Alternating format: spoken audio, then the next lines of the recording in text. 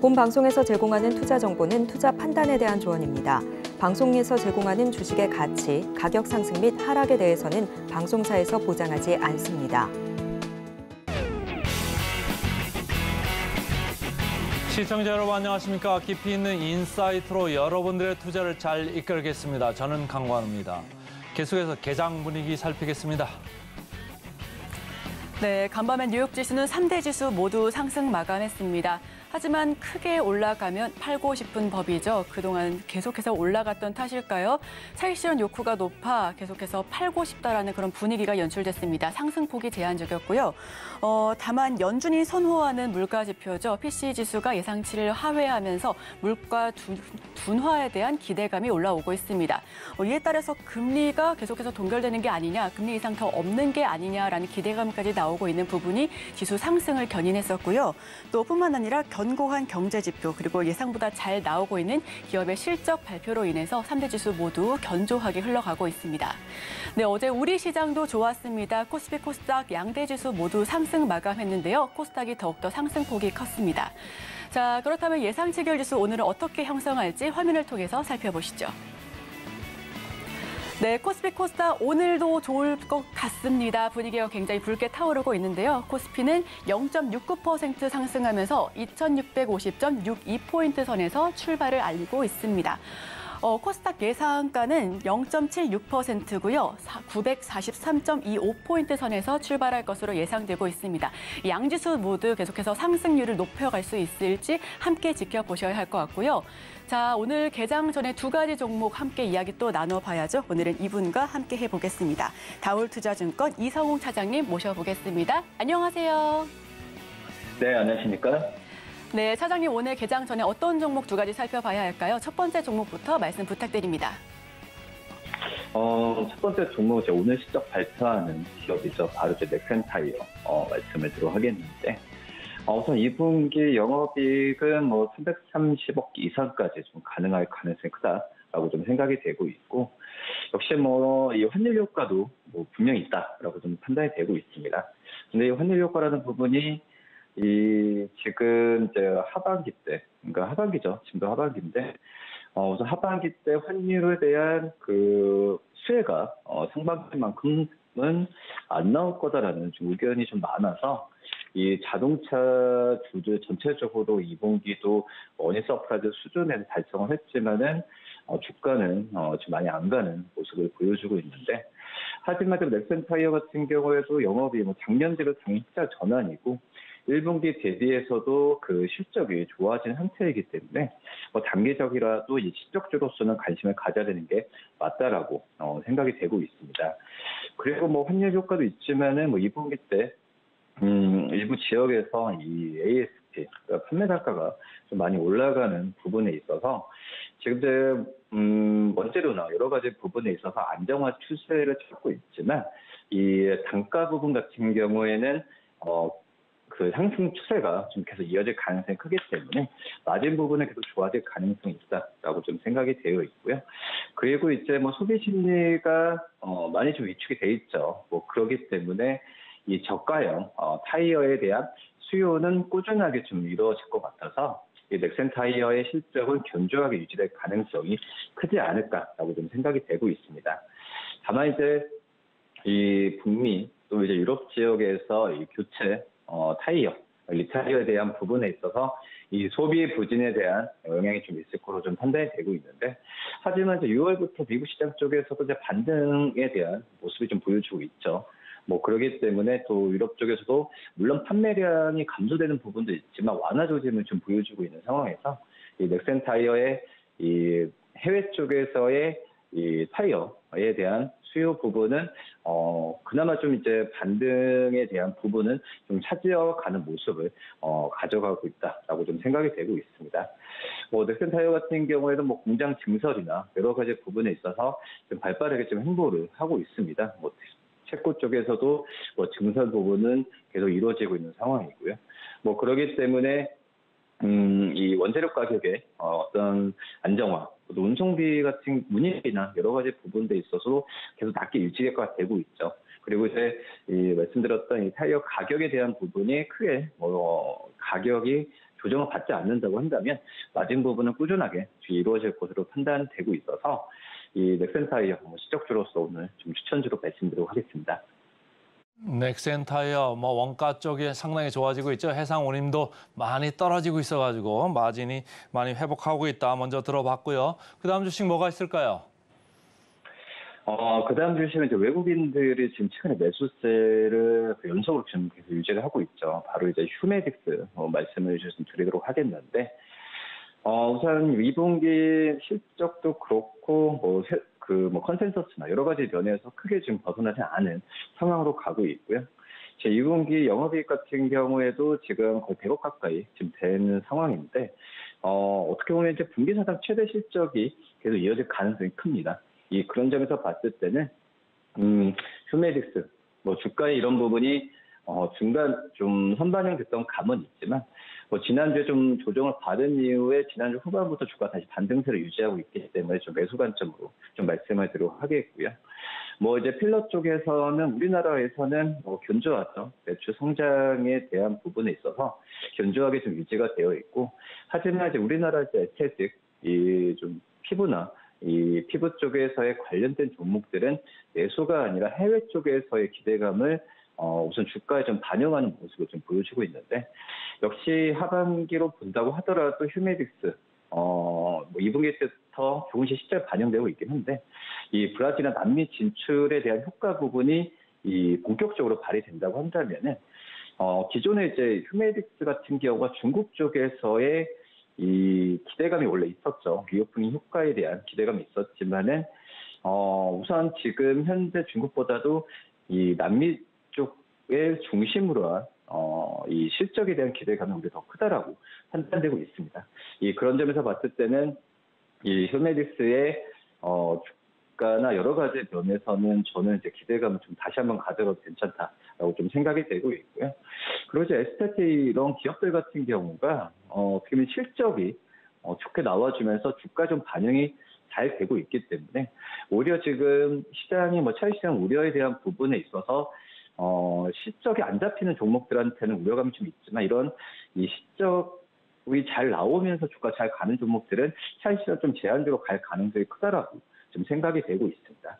어, 이런 부분이 이제 휴메딕스가 대표적인 장점이라고 볼 수 있겠고, 그리고 이제 어떻게 보면 이제 필러 쪽이지만 필러에 대한 부분이 주가에 더 많이 반영이 되지만은 이 전문 의약품 쪽이죠. 이 특히 이제 이 안과 용제 매출 같은 경우에는 오히려 또 상승폭을 좀 계속 가져가고 있기 때문에 어, 우선 이 CMO 사업에 대한 부분에 있어서 발빠르게 움직이는 부분에 있어서 휴메딕스는 꾸준하게 좀 관심을 가져야 되지 않을까라고 좀 판단되고 있습니다.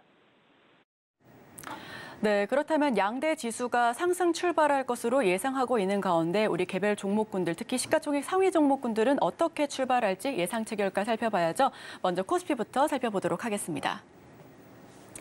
어, 코스피 분위기 굉장히 좋습니다. 삼성전자 지금 6만 선, 7만 선이 붕괴됐었는데 다시금 회복한 모습입니다. 0.57% 상승하면서 7만 200원 선에서 출발할 것으로 예상을 하고 있습니다. LG 에너지 솔루션 1.07%, SK 하이닉스 0.08%, 그리고 삼성 바이오로직스와 포스코 홀딩스 모두 1%대 강세를 보여주면서 출발할 것으로 예상하고 있습니다. 6위부터 10위까지 마저 살펴보겠습니다. 네, 삼성전자 우선조와 LG화학 역시도 0.17%, 0.15% 강보합권에서 출발을 예고하고 있고요. 포스코 퓨처엠은 2%대 강세를 보여주면서 오늘도 포스코 그룹주 굉장히 좋은 모습 보여줄 것으로 예상이 됩니다. 삼성 SDI와 현대차는 0.75%, 0.46% 약세를 보여주면서 출발할 것 같네요. 자, 그렇다면 저희 바로 개장 직후에 이야기 한번 더 나눠봐야죠. 저희 그럼 개장 이후에 다시 한번 찾아뵙도록 하겠습니다.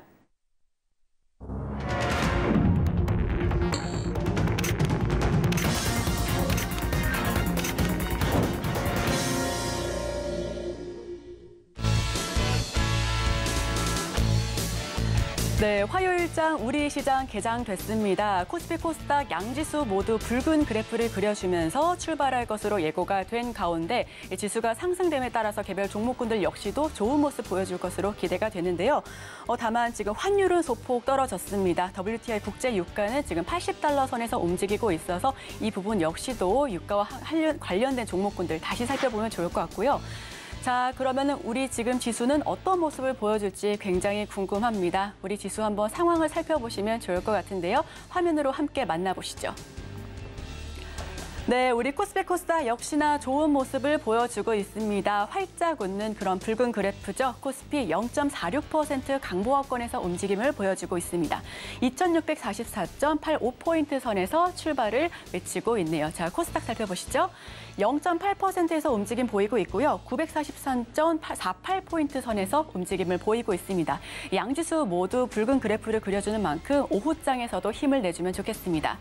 자, 그럼 개별 종목군들 어떻게 움직이고 있는지 먼저 코스피부터 살펴보도록 하겠습니다. 네, 삼성전자가 0.86% 상승률을 보여주고 있습니다. 그리고 지금 계속해서 전반적으로 붉은 모습들이 눈에 띄고 있는 가운데 LG 에너지 솔루션 0.18%, SK 하이닉스는 0.32%의 상승률을 보여주고 있는데요. 어, 지금 2차 전지 외에도 반도체 쪽으로도 많은 분들 귀 기울이고 계신 분들 많으실 것 같습니다. 현재 삼성전자와 SK 하이닉스가 낸드 부문의 추가 감산을 예고하고 있는 가운데 본격적으로 반영되는 부분이 바로 3 분기라고 하죠. 주가 지금부터 방향성 살펴보셔도 좋을 것 같습니다. 어, 삼성전자 우선주 0.35% 그리고 삼성 바이오로직스, 삼성그룹주 오늘 굉장히 좋네요. 1.7% 상승률을 보여주고 있고요. 오늘 서비스업 한번 살펴보도록 하겠습니다. 오늘 지금 굉장히 붉은 모습 보여주고 있는 네이버와 카카오입니다. 네이버는 4%대 급등을 하고 있고요. 지금 3.74% 상승률을 보여주고 있습니다. 카카오 2.53% 상승 흐름을 보여주면서 특히 네이버와 카카오 같은 경우에는 어제장에서 웹툰 시장 확대에 대한 기대감을 가지고 상승률을 보여줬습니다. 오늘 카카오도 좋지만 네이버가 조금 더 붉은 모습을 보여주고 있는 모습이네요. 어, 엔터 쪽으로도 굉장히 좋은 모습을 보여줬었는데 지금 하이브는 잠시 쉬어 가는 모습입니다. 어, 지금 다시 한번 살펴보셨을 때 우리 제약바이오 종목군들도 한번 살펴보시면 좋을 것 같은데요. 예, 얼마 전부터 코로나19가 다시 기승을 부리기 시작했습니다.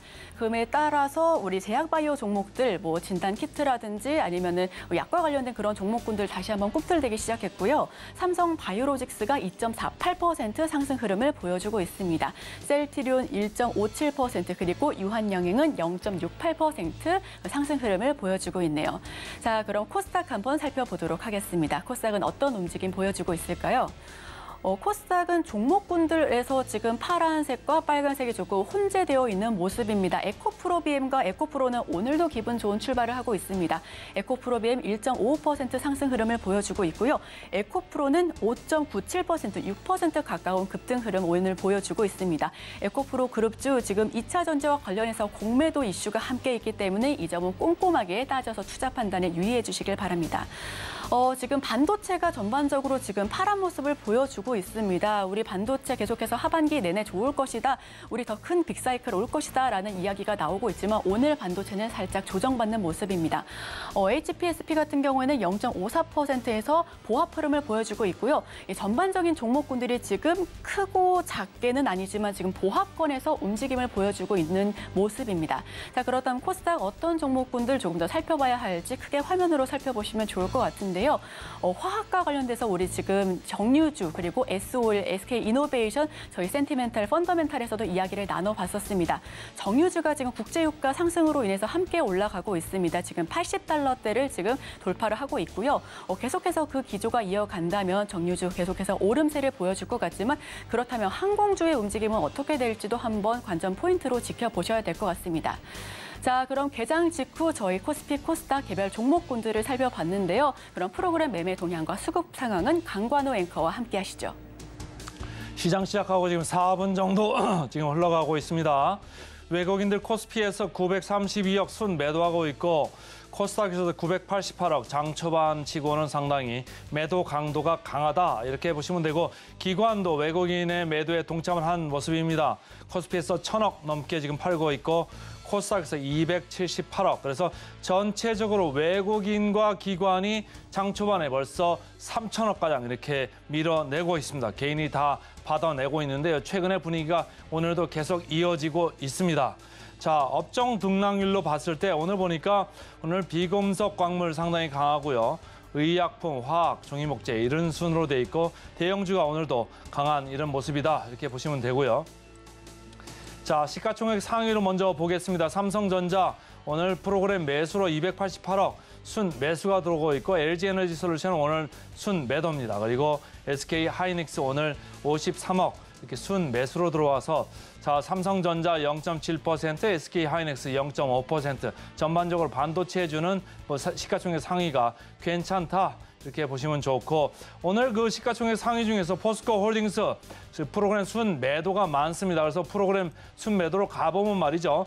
포스코 홀딩스가 460억의 프로그램 순 매도로 장 초반에 플러스권을 이겨내지 못하고 지금 마이너스 0.9% 8% 왔다 갔다 하고 있고요. 최근에 어, 좋았고 오늘도 장 초반에 좋았던 SK 이노베이션도 오늘 프로그램 매도가 나오고 있습니다. 200억 순 매도가 흘러나오면서 장 초반에 강세가 약간 눌린다. 그리고 포스코 인터내셔널도 프로그램 132억 순 매도 나오면서 2.66% 이렇게 밀려 내려가고 있습니다. 그래서 전체적으로 프로그램 순 매, 매도가 있는 부분 보니까 포스코 홀딩스, SK 이노베이션 정유주지만 최근에 2차 전지 밸류가 많이 들어온 부분이죠. 포스코 인터내셔널, 포스코 퓨처엠, LG화학, 금양 이쪽으로 이렇게 많이 몰리는 것 같습니다.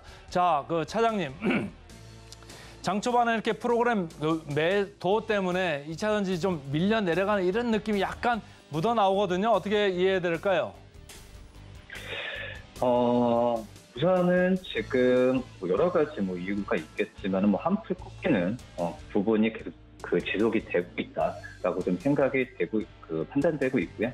그만큼의 이제 어떤 뭐 공매도도 그렇고 어, 여러 가지 어, 부분에 있어서 옛날만큼의 어, 그런 상황은 기대하면 안 되겠죠. 어, 그리고 이제 뭐 여러 가지 2차 전지 쪽에서의 뭐 전망이나 그리고 뭐 에코프로 또 MSCI 뭐 그 여러 가지 호재가 있긴 하지만 그런 부분 이미 지금 주가에 선반영 어, 되지 않았나라고 좀 생각이 되고 있고요. 그리고 이제 2차 전지 뭐 쏠림 현상이 지금 와야 되는 과정으로 가고 있기 때문에 어, 어떤 시장 변동성, 시장 전체 뭐 변동성은 나올 수 있겠지만은 어, 오히려 이런 부분은 이 밸류를 찾아가는 관점이라고 지금 생각이 되고 있습니다. 뭐 그렇기 때문에 기존에 가지고 계신 분들이나 여러 가지 부분에 있어서는 뭐 고민이 좀 되고 어떤 수급적인 어, 면으로만 좀 접근을 해야 되기 때문에 좀 어지러우실 거라고 어, 좀 생각이 되고 있는데 어, 저는 이제 어떻게 보면은 이제 그 이번 달 이번 달 안에 그러니까 8월 달 내내도 이런 변동성은 계속 이어질 가능성이 크다라고 좀 생각이 되고 있습니다. 뭐 그렇기 때문에 뭐 그거에 대한 어, 신규에 대한 매수 관점은 어, 당연히 좀 하는 부분은 좀 그 힘들다라고도 생각이 되고 있어서 뭐 기존에 가지고 계신 분들만 어떤 이 어, 또 올라갔을 때 또 이제 이익 실현하고 나오실 수도 있겠지만 어, 이 가지고 계신 분들 좀 영역이지 않나라고 좀 생각이 되고 있습니다. 다만 이제 2차 전지 쪽에서의 어떤 양극재 쪽으로만 음, 이 쏠림 현상이 심했죠. 뭐 그러기 때문에 물론 이제 양극재 그다음에 음극재 뭐 있겠지만 이제 뭐 전해질 뭐 그리고 도전체 그리고 이제 2차 전지에 대한 장비 기업들 같은 경우에는 혜택을 좀 못 받는 게 사실입니다. 뭐 그러기 때문에 이 2차 전지, 그러니까 전기차는 어떻게 보면 시장의 초입 단계이기 때문에 분명히 성장성 굉장히 작다라고 판단이 되고 있어서 어, 이 포트에 대한 부분을 좀 분산하는 전략도 어, 나쁘지는 않다라고 좀 생각이 되고 있습니다. 그래서 한번 정리하게 되면 수급적인 면으로만 계속 얘기를 하게, 되, 하게 되는 상황이니까 뭐 그거에 대한 부분도 좀 지치는 건 맞지 않나라고 좀 생각이 듭니다.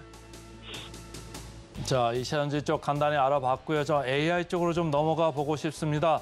아, 최근에 뭐 AI 계속 관심 사항에다가 좀 주가가 밀려 내려갔다. 어제 좀 많이 올라가는 그런 모습이었는데 어제 또 관련해서 많이 올라갔던 게 네이버고 오늘도 많이 오르네요. 4% 저희 센티멘탈 펀더멘탈 콘에서 한 달 동안에 무려 먼 서너 번 이상 이렇게 말씀을 드렸던 아주 저기가 이제 잘 피킹을 했다 이렇게 보는 주식 중에 하나인데 네이버의 강세 외국인들은 오늘 프로그램 매도로 나오고 있습니다. 이렇게 매도로 나오는데 기관들은 계속 몰고 가는 분위기인데 어떻게 봐야 될까요?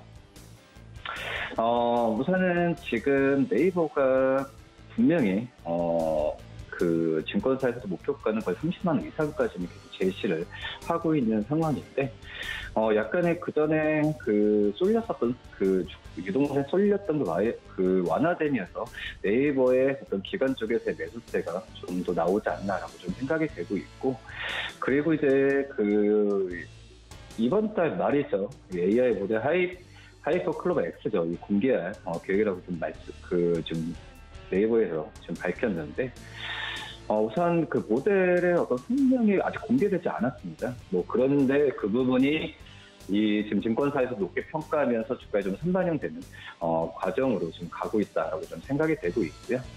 뭐 이거에 대한 그 시장에서 영향력을 이제 AI 전체적인 분위기를 좋게 만드는 그런 상황이라고 좀 볼 수 있겠는데요. 뭐 그거에 대한 음 여러 가지 어 이 제가 봤을 때 공개가 돼야 그 다음에 또 이제 그 하나의 뚜껑을 열어봐야 어, 이거에 대한 평가가 좀 나오지 않나라고 좀 생각이 되고 있고, 뭐, 그러기 때문에, 이, 지금 제가 봤을 때는 이 하이버 클로버 X가 어, 나왔을 때 어떤 파급력보다도 이 글로벌적인 AI 기업들의 어떤 그 제품이나 이런 기능과 좀 비교를 해야 되는 게 맞지 않나라고 좀 생각이 되고 있습니다. 뭐 그렇기 때문에 이거에 대한 부분의 성과를 어, 기대하는 부분은 진짜 말씀드렸듯이 어, 뚜껑을 열어봐야 안다라고 좀 생각이 되고 있고요. 근데 이제 네이버가 이거에 대해서 진짜 공을 많이 들었죠. 뭐 비용도 많이 어, 들어갔던 상황이기 때문에 뭐 이거에 대한 부분에 있어서 지금 현재는 긍정적인 이슈로 목표 주가 증권사도 올리고 밸류에 대한 상승 여력도 계속 좀 높게 지금 측정되는 상황인데 어, 너무 이제 이거에 대한 부분만 그리고 이제 매수세가 어, 지금 현재 투자자분들, 시청자분들께서도 매수를 들어가는 것보다도 어, 저는 이제 이거에 대한 좀 돌가리를 두들겨보고 어, 가야 되지 않을까라고 좀 생각이 되고 있고요. 그래서 이제 뭐 또 번외 얘기지만은 이제 뭐 실적 시즌에서 실적이 나와서 조, 좋은 종목들을 좀 들어가는 게 좀 안전한 게 맞지 않을까라고 좀 생각이 되고 있고요. 어, 근데 이제 그 AI 시장 쪽에서는 지금 대기업들의 네이버뿐만 아니라 이 대기업들, 특히 이제 그 미국의 어떤 그 IT 대표적인 기업들 같은 경우에도 투자를 좀 많이 하고 있는 어떤 새로운 어떤 신대적 사업이기 때문에 뭐 그거 투자에 대한 부분 자체가 이제 그 주가에는 메리트로 지금 작용하는 분위기는 어, 맞다라고 좀 생각이 되고 있고 어, 근데 이제 어떻게 보면 이제 카카오보다도 이제 네이버 쪽에서의 더 이제 점수를 지금 많이 어, 주고 있는 그런 상황은 좀 한번 짚어봐야 되는 게 맞지 않을까라고 좀 생각이 되고 있고요.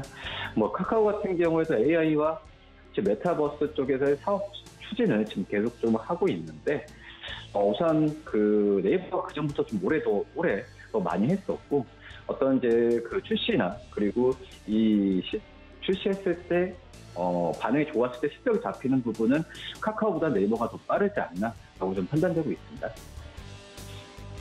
자, 네이버 카카오 알아봤고요. 마지막으로 하나만 더 물어보겠습니다. 제 지난번에도 그런데 2차 전지가 약간 눌리면 풍선 효과 때문에 IT 쪽, 뭐 제약바이오 쪽 이렇게 가는데 오늘도 보니까 말이죠. 외국인들이 프로그램 매도를 이렇게 하고 있는 와중에도 그 와중에 프로그램 순 매수로 HPSP 오늘 프로그램 순 매수로 83억 이렇게 사고 있고 주성 엔지니어링 프로그램 순 매수로 14억 이렇게 사고 있습니다. 최근에 보면 말이죠. 후공정 장비 업체들 주가가 괜찮았고 HBM 관련해 가지고도 관련 관심들이 좀 많은 것 같은데 이쪽 어떻게 좀 대응을 할까요?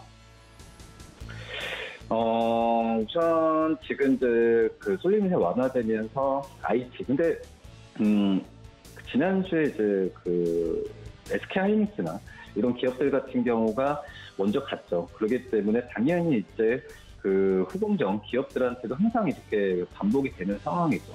후공정 기업들이 주가가 좀 가는 부분이 어, 나와주고 있는 현재 상황이고요. 저는 그렇기 때문에 이제 그 우선 이제 삼성전자, SK하이닉스 턴어라운드가 된 이후에 어, 이 후공정 기업들, 반도체 장비 기업들에 대한 부분에 있어서 어, 좀 관심을 좀 1차적으로 가져야 되지 않나라고 좀 생각이 되고 있고 하지만 뭐 주가는 먼저 기대감이 먼저 가기 때문에 어, 우선 반응을 하기, 하는 상황이고요. 지금 현재 그 근데 분위기 좋죠. 이제 파운드리 부분 쪽에서 이전그 기업 그 SK하이닉스도 그렇고 삼성전자도 이제 숫자 전환에 대한 뭐 그런 기대감이 모아지고 있는 상황이고요. 또 이제 뭐 랜드 쪽뭐 감산 효과 나온다고 한다면 영업 적자도 축소되는 분위기이기 때문에 뭐 후공정 그다음에 이제 그 다시 이제 전공정 쪽으로 또 이제 매수에 대한 분위기가 또 바뀔 수가 있습니다. 뭐 그러기 때문에 관련 기업들이죠. 말씀하셨듯이 뭐 어, HTSP도 그렇고 뭐 특히 저는 한미반도체 또 원익 YPS 이런 기업들에 대한 관심이 좀 높은데 그런 기업들 같은 경우에 적극적인 매수 관점도 어, 지금은 뭐 주가 측면에서 본다면 뭐 실적은 뭐 나중을 하더라도 지금 현재 분위기에서 매수 관점으로 어, 그 들어가도 나쁘지 않다라고 좀 판단됩니다. 네, 지금까지 개장 시황과 함께 특징적인 테마들 그리고 그별 종목군들까지도 함께 이야기를 나눠봤습니다. 지금까지 다올투자증권 이성홍 차장님과 함께했습니다. 오늘 말씀 고맙습니다. 네, 감사합니다.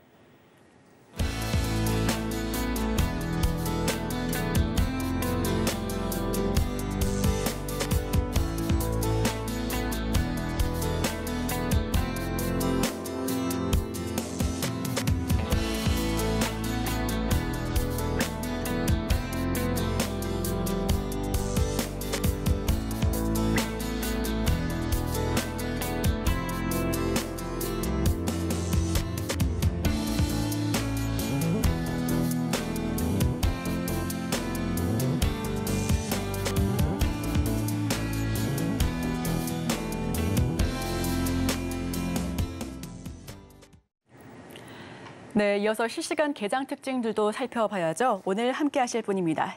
헤르메스 스타 하창원 본부장 모십니다. 어서 오세요. 네, 안녕하십니까. 네, 먼저 지금 9시 16분 지나가고 있는 시황입니다. 지금 오늘 시장에서 오전장에서는 어떤 부분에 조금 더 주목해야 할지, 어떤 부분에 주의해야 할지 한번 여쭤보고 싶습니다.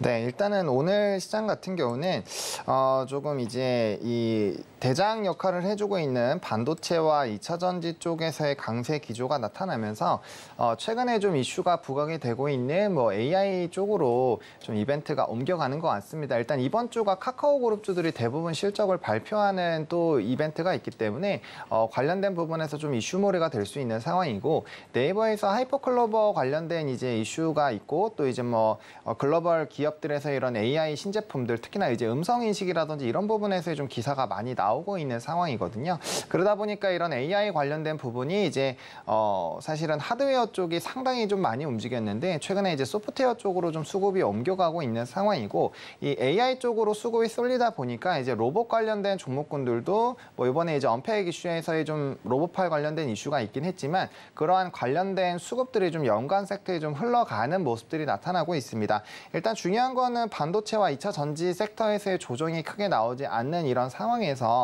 어, 다른 섹터에 좀 수급 쏠림이 나타나고 있는 부분들을 좀 체크를 해보실 필요가 있고요. 일단 거래 대금 자체는 최근에 조금 조금씩 좀 줄어들고 있는 상황이기는 합니다. 이전에 뭐 워낙 급등락이 심했을 때는 60조까지 터졌는데 뭐 물론 지금도 거래 대금 자체는 작은 건 아닙니다. 어, 대충 한 25조에서 27조 사이에서의 형성이 되어 있는데 여기에서 이제 거래 대금이 다시 줄기 시작하면 이전에 지수가 2650선에서 눌릴 때도 비슷한 거래 대금에서 점진적으로 거래 대금이 줄면서 주가 지수의 조정이 나왔거든요. 그래서 이번에도 그러한 좀 흐름들이 나타난지를 살펴보셔야 될 것 같고요. 일단 반도체와 2차 전지가 모두 다 섹터별로 어 이제 뭐 일부 종목군들로 좀 쏠리긴 했습니다만 좀 강한 상승력이 나왔기 때문에 이렇게 수급이 좀 옮겨가는 흐름들이 얼마나 잘 나타나느냐에 따라서 지수에 조금 이런 등락폭도 어 변동성이 나올 수 있으니까 이런 것들 좀 체크해 보시면서 오늘 시장 대응을 해 보시면 좋겠습니다. 네, 좋습니다. 2차 전지와 반도체 이야기를 나눠봤고요. 여기에 더해서 AI와 로봇주도 한번 살펴보면 좋겠다라는 이야기까지도 들어봤습니다. 어, 다만 거래 대금이 조금 줄어든다면 이 부분에 대해서도 탄력적으로 한번 투자 계획을 세워봐야 하니까 이 부분 함께 참고해 주시면 좋겠습니다. 자, 그럼 코스피 코스닥 특징주 살펴봐야죠. 화면을 통해서 코스피부터 살펴보겠습니다. 네, 코스피 개장 특징주 탑5 종목입니다. 1위는 삼성전자, 2위 삼성 SDI, 카카오, SK 하이닉스, 삼성 바이오로직스인데요. 다만 여기서 삼성전자와 SK 하이닉스 같은 경우에는 하반기 내내 실적이 좀 양호하게 나올 것으로 기대하는 만큼 낸드 부문의 추가 감산이 얼마나 효과가 좋을지 함께 쭉 살펴보셔야 할 것 같습니다.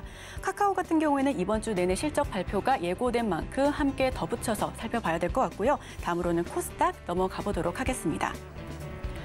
네, 오늘 코스닥 1위 종목은 HPSP입니다. 어, 반도체 관련된 종목이죠. 2위는 아프리카 TV인데요. 아프리카 TV가 2분기 영업이익이, 이- 영업이익이 236억 원을 돌파했다고 합니다. 전년비 대비해서 1.9% 상승률이라고 하니까요. 함께 살펴보셔야 할 것 같고요. 셀트리온 제약과 주성 엔지니어링 그리고 넥슨 게임즈를 살펴봤습니다. 넥슨 같은 경우에는 중국 시장 공략에 나선다라고 발표한 만큼 이 부분도 함께 살펴보시면 좋겠습니다. 자, 그렇다면 개장 특징주 코스피부터 먼저 살펴봐야 할 것 같은데요. 1위부터 5위까지 화면을 통해서 만나보시죠. 네, 전반적으로 붉은 그래프를 그려주고 있는 개장 특징주 코스피입니다. 삼성전자 7만 원대 돌파 다시 했고요. 1.15% 상승률 보여주고 있습니다. SK 하이닉스 1.7% 그리고 삼성 바이오로직스는 4%대 급등을 보여주고 있습니다. 카카오 오늘 굉장히 좋고요. 4.68% 그리고 삼성 SDI는 0.45% 강보합권에서 움직임을 나타내고 있습니다. 자, 그렇다면 본부장님, 이 중에서는 어떤 종목을 조금 더 봐야 될까요? 네, SK 하이닉스를 좀 보겠습니다. 어, 이제 하이닉스 같은 경우는 요즘에 이제 반도체 쪽이 이제 더욱더 슈팅이 나올 수 있느냐 없느냐에 대한 관심도들이 좀 높아지고 있는데요. 일단 저는 좀 긍정적으로 보고 있는 상황입니다. 일단은 뭐 최근에 이제 공급에 대한 우려 목소리들이 많- 많이 나타나고 있죠. 사실상 이런 AI 시장이 굉장히 개화가 되고 있고 관련된 뭐 수요는 늘어나고 있는 상황이지만 어, 공급단에서의 조금 이슈가 발생을 할 수가 있거든요. 이게 이제 사실 어, 초입 부분이다 보니까 앞으로의 이런 뭐 원활한 성능을 내기 위해서는 정말 어마어마한 이런 수요가 나타날 수가 있는 상황이거든요. 그래서 뭐 MAS에서도 이제 GPU에 대한 공급 부족들 뭐 다양한 부분을 얘기가 나오고 있는데 어쨌든 삼성전자가 콩콜에서도 뭐 HBM 관련된 부분에서 이슈를 부각을 시키긴 했지만 일단 삼성전자랑 하이닉스는 제품의 계류가 좀 달리 하는 바가 있습니다. 그러다 보니까 어, 당분간은 하이닉스의 독주가 좀 유지가 될 수 있지 않을까라고 보고 있는 상황이고요. 어, 일단은 뭐이 AI 관련된 반도체 쪽이 상당히 좀 좋은 모습들이 나타나는 부분이 나타났기 때문에 뭐 이런 대형주들의 움직임에서 약간의 좀 불안감이 있을 수 있겠지만 어, 또 상승력이 나온 이후에 또 두 달 정도의 약간의 좀 이런 물량 소화를 하면서 다시 한번 좀 상승력이 나타나고 있는 상황이거든요. 그렇기 때문에 뭐 추가적인 상승력 좀 기대를 해보셔도 좋을 것 같고 일단 삼성전자가 컨콜에서도 이제 이런 재고 감산 부분으로 어, 이슈들이 좀 불거졌기 때문에 향후에 이런 하반기에 대한 어, 반도체 시장에 대한 턴어라운드 기대감은 상당히 좀 높아져 있는 상황이라고 보시면 좋을 것 같고 해당 부분 들이 진행이 되면 될수록 사실상 업황 턴어라운드에 따른 또 추가적인 기대감들이 나올 수 있는 상황입니다. 그리고 앞서 말씀드린 것처럼 앞으로의 시장 자체가 뭐 지금 성숙기가 아니라 완전 이제 개화기에 있는 상황이어서 성장기까지 이어진다라고 하더라도 사실상 폭은 굉장히 좀 커질 수가 있거든요. 그래서 그런 부분들만 보시더라도 어, 충분히 좀 상승력이 나올 수 있을 것 같고 결국엔 이 얘기 자체가 반도체에서의 상승력이 꾸준히 나오게 되면은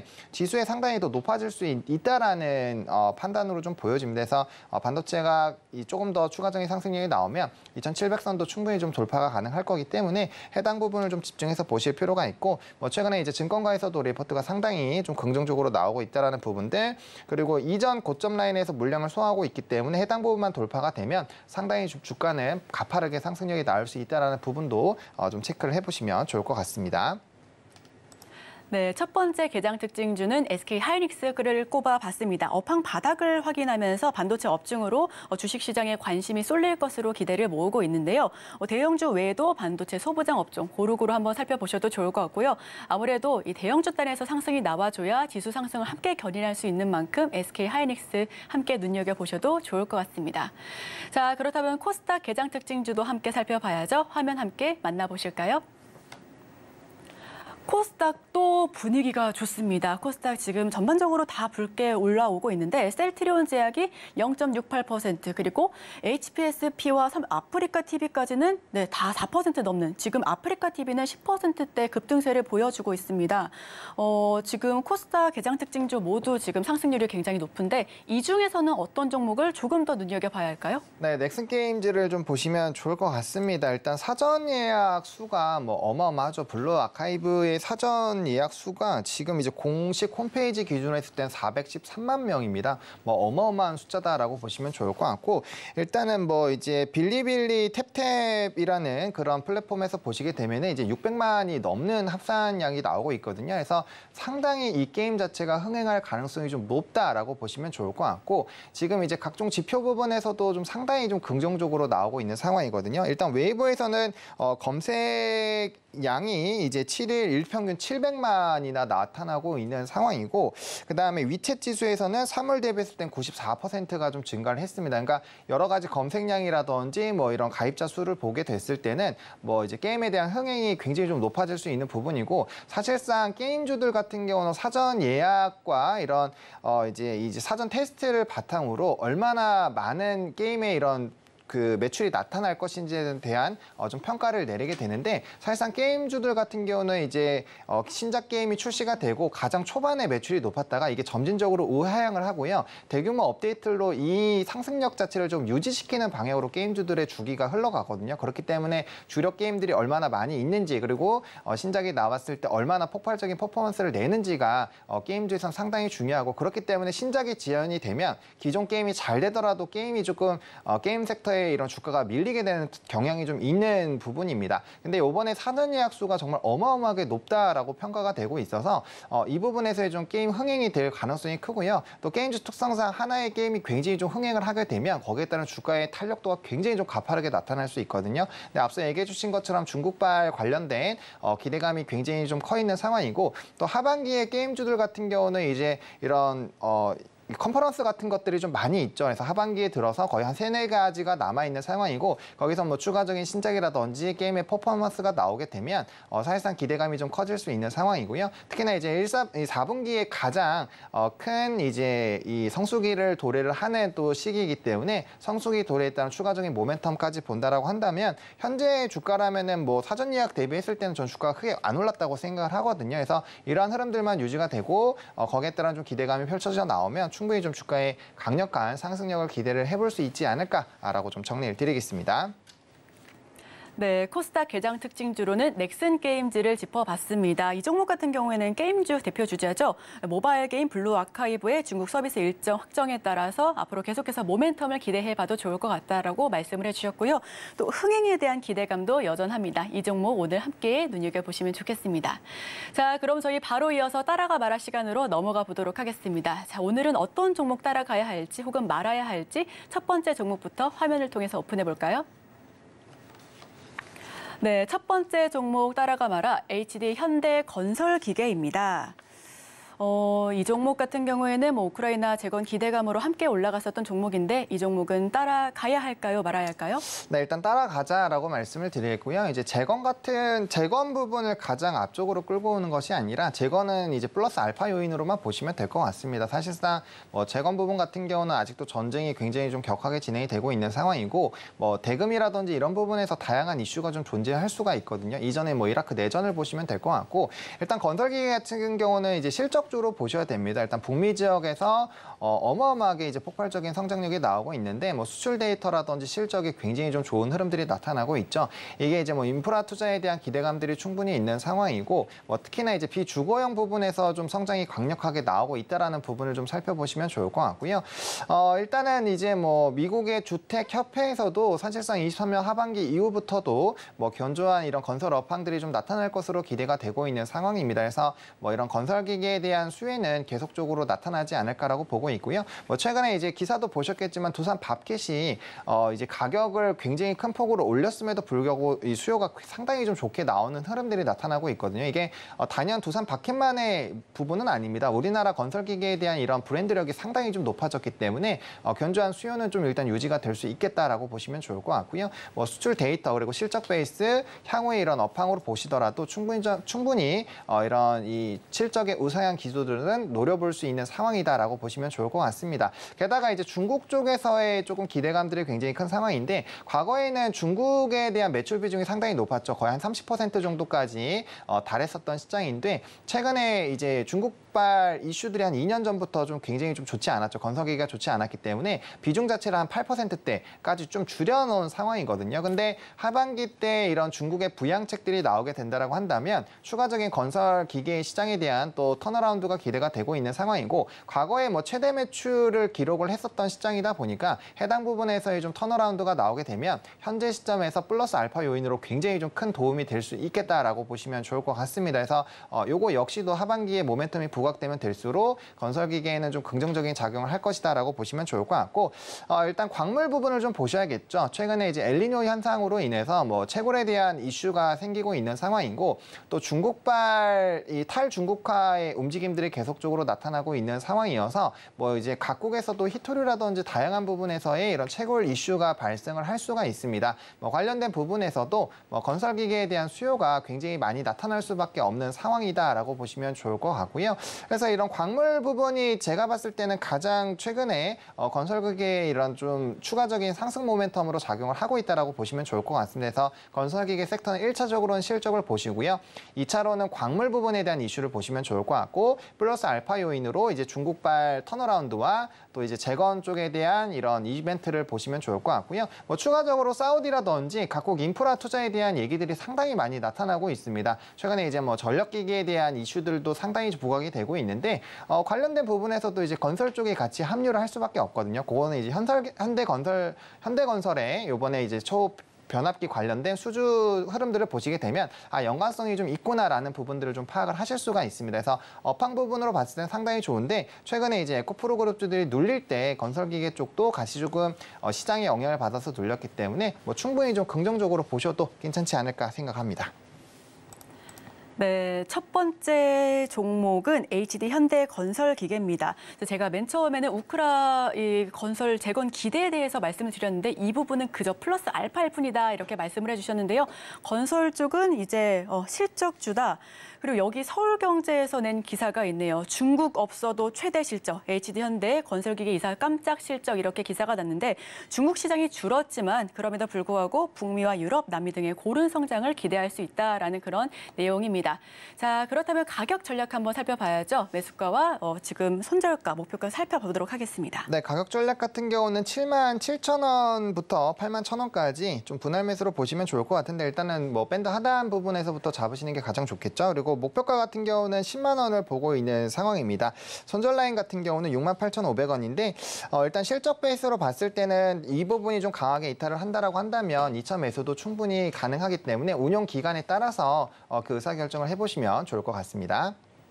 네, 첫 번째 종목 현대 HD 현대 건설기계 목표가는 10만 원, 손절가는 6만 8,500선입니다. 지금 현재 4% 조금 빠져나가면서 7만 8,400원대이니까요. 이 부분 함께 참고해 보시면 좋겠습니다. 자, 그럼 바로 이어서 두 번째 종목 살펴봐야죠. 두 번째 종목 오픈해 주세요.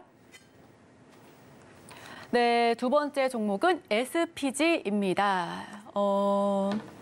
이 종목은 따라가야 할지 말아야 할지 네, 강력하게 여쭤보고 싶습니다. 지난번에 로봇 관련된 종목으로 이야기를 나눴었는데 SPG 어떻게 될까요? 네, 이번에도 매수 의견 좀 드리도록 하겠고요. 네, 일단 따라가자라고 말씀을 드리겠습니다. 일단은 최근에 이제 AI 관련된 부분이 굉장히 좀 핫해지고 있죠. 앞서 언급을 드렸던 것처럼 AI 섹터가 강해지게 되면 거기에 따른 하드웨어 쪽도 좋아지게 되지만 그 부분을 활용할 수 있는 뭐 자율주행이라든지 로봇, 로봇 자율주행도 결국엔 로봇의 최하위 편이라고 좀 생각을 하고 있거든요. 그래서 로봇 쪽으로 충분히 좀 수급이 올라갈 수 있는 상황이고요. 또 하반기에 뭐 두산 로보틱스라든지 이런 또 로봇 관련된 상장 이슈들이 있는 상황이고 뭐 삼성에서의 뭐 이제 사족 관련된 뭐 추가적인 이런 신제품들에 대한 모멘텀들도 충분히 있는 상황입니다. 아직까지는 뭐 협동 로봇이라든지 서비스용 로봇이 상당히 좀 기대가 되고 있는 상황이고요. 뭐 이제 출산율만 보더라도 그리고 최저임금에 대한 상승 흐름들만 보더라도 아무래도 관련된 시장은 굉장히 좀 폭발적으로 상승을 할 수밖에 없다라고 보시면 좋을 것 같습니다. 결국에 로봇에 대한 출하량이 늘어나게 되면 원재료에 가장 큰 영향을 주는 뭐 엔진 부분이나 이제 감속기 부분에서의 좀 이슈가 부각이 될 수밖에 없는데 국내에서는 SPG와 SBB테크가 거의 독보적인 지위를 가지고 있다라고 보시면 좋을 것 같고 HA, SH라든지 SR 관련된 감속기 부분에서는 특히나 SPG가 또 강한 흐름들을 보여주고 있다라는 점들 보시면 좋을 것 같습니다. 뭐 일본에 굉장히 의존했던 부품들을 국산화했다라는 부분에서 상당히 좀 이슈가 되고 있는 상황이고 지금 얘기가 쏙 들어가긴 했지만 현대 현대그룹에서 좀 지분 인수에 대한 얘기들이 3월 달부터 계속적으로 있었던 상황이거든요. 일단 뭐 레인보우 로보틱스 같은 경우는 삼성 쪽에서 들고 갔고 LG 쪽에서도 뭐 이제 로보티즈라든지 이런 쪽으로 연관이 있다 보니까 어, 아무래도 충분히 좀 가능성은 있다라고 보고 있고요. 그걸 다 떠나서라도 충분히 이런 로봇 시장이 성장을 하면 할수록 양극재와 같은 로봇 쪽에서는 약간 양극재의 역할을 하고 있다라고 보시면 좋을 것 같거든요. 그래서 그런 이슈가 있겠다라고 보시면 좋을 것 같고요.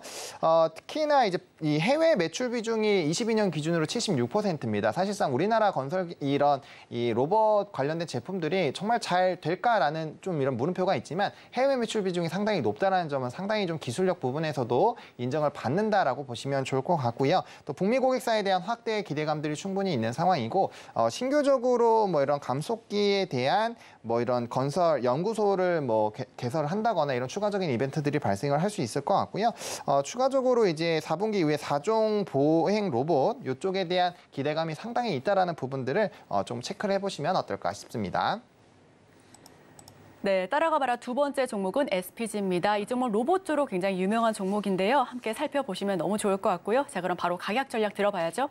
네, 가격 전략 같은 경우는 오늘도 조금 주가가 올랐는데요. 일단 3만 원부터 3만 1,500원까지로 분할 매수를 해보시면 좋을 것 같습니다. 뭐 현재가 매수도 충분히 좀 가능하다라고 생각을 하고 있지만 어, 만약에 이번에 이전 고점 라인을 돌파하지 못하면 다시 한번 이 박스권 안에서의 매수가 가능하지 않을까 싶어서 일단은 그 부분으로 말씀을 드리겠고요.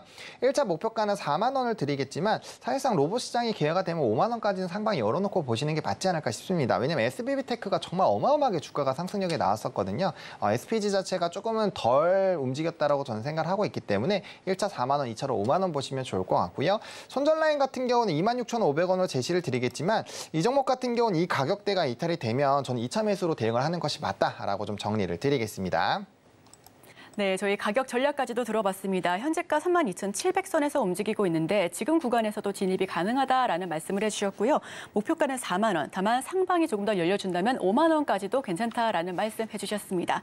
자, 그럼 손절가는 26,500원으로 이야기를 나눠봤습니다. 지금까지 헤르메스타 하창원 본부장님과 함께했습니다. 오늘 말씀 고맙습니다. 네, 감사합니다.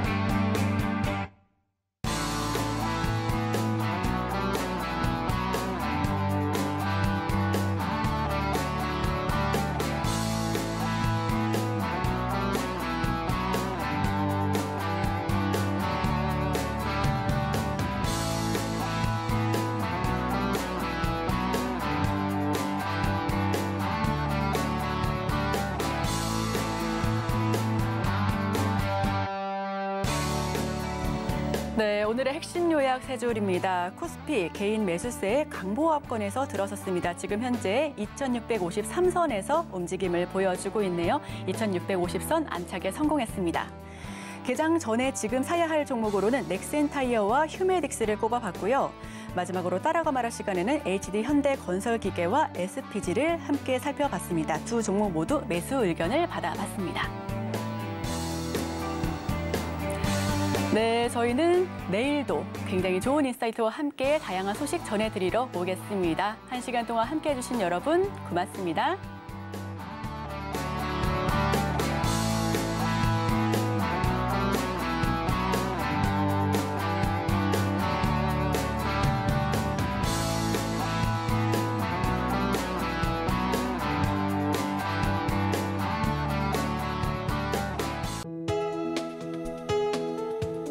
본 방송에서 제공하는 투자 정보는 투자 판단에 대한 조언입니다.